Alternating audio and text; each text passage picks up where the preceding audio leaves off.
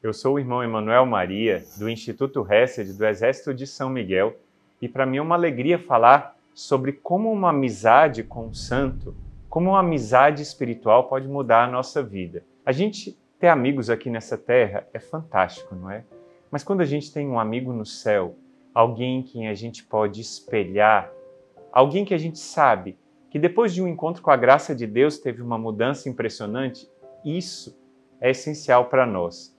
A gente deve ter essa amizade com os santos, isso é parte da nossa vida, da comunhão dos santos, esse dogma da igreja que faz com que nós estejamos unidos aos santos do céu e, é claro, às almas do purgatório. E entre esses santos, um santo que é tão humilde que se torna bem desconhecido é São Luís Maria Grignon de Montfort. Ele, claro, é conhecido pelo Tratado da Verdadeira Devoção à Santíssima Virgem.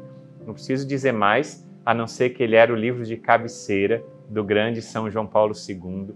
Ele foi lido por grandes santos como São Maximiliano Maria Kolbe, como Padre Pio, que se consagraram a Nossa Senhora. Mas a gente consegue perceber a grandiosidade do santo quando a gente vê a grandiosidade da obra que ele fez. Quantos corações que mudaram assim da água para o vinho, quantos corações que descobriram a alegria de ser católicos ao lerem o Tratado da Verdadeira Devoção.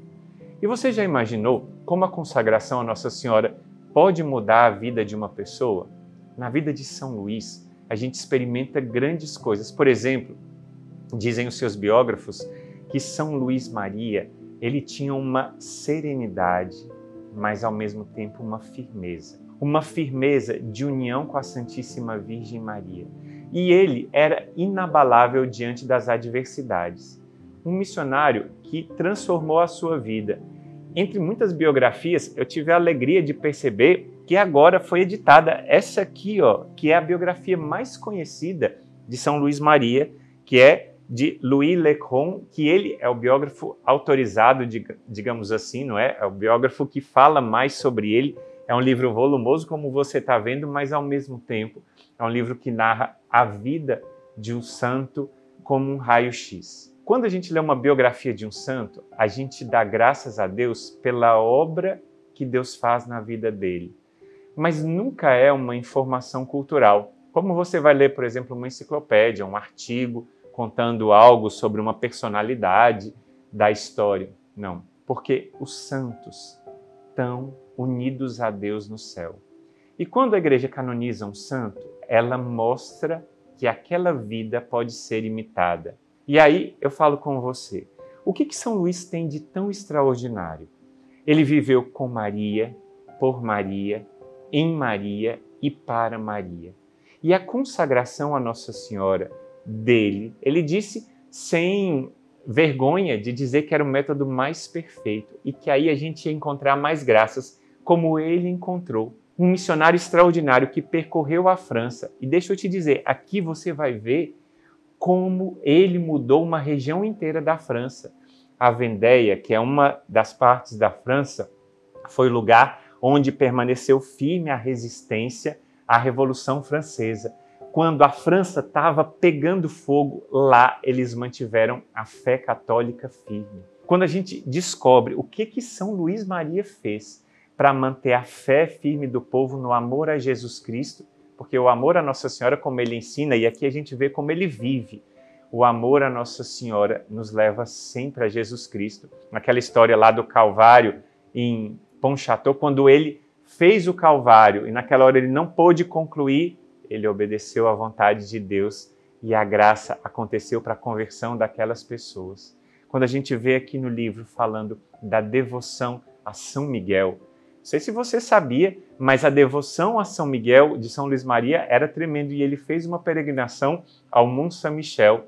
Quando a gente vê a devoção dos santos, a gente vê que a experiência deles com Deus e a experiência da graça deles é experiência para nós também. Você, ao ler a biografia de um santo, eu recomendo esse livro vivamente.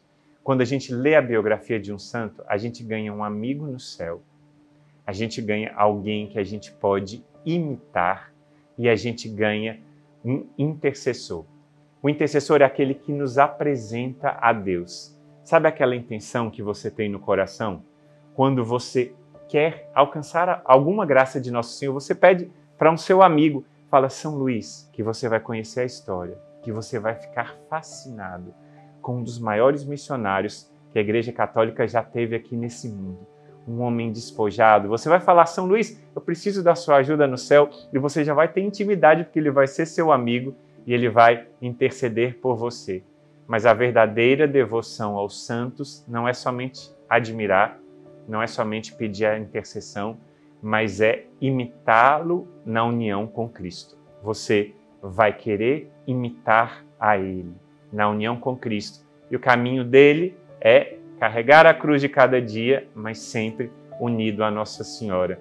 Nossa Senhora vai ser aquela, se eu posso dizer assim, a esposa do seu coração, aquela que vai te preparar o caminho para o céu. E não esqueça, é o que a gente vai ver nesse livro e é o que a gente vai ler no Tratado da Verdadeira Devoção. É o caminho mais seguro, o caminho mais rápido e o caminho direto para a gente ir ao céu.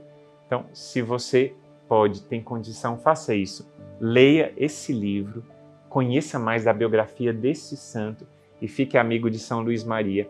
E eu queria contar para vocês, antes de encerrar esse vídeo, um grande presente que São Luís Maria nos deu. A gente, lá na Capela dos Irmãos do Instituto Hesed, não tinha nenhuma relíquia de primeiro grau.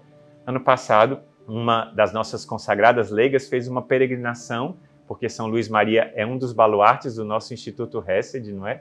Ela foi em peregrinação ao Santuário de São Luís Maria. E ela visitou lá e depois ela estava lá naquele Calvário que São Luís Maria não pôde concluir, que foi concluído depois dele, e tinha umas irmãs, filhas da sabedoria, que estavam por lá, e ela chegou e perguntou: Você sabe onde eu consigo uma relíquia de São Luís Maria? Ela disse: É difícil.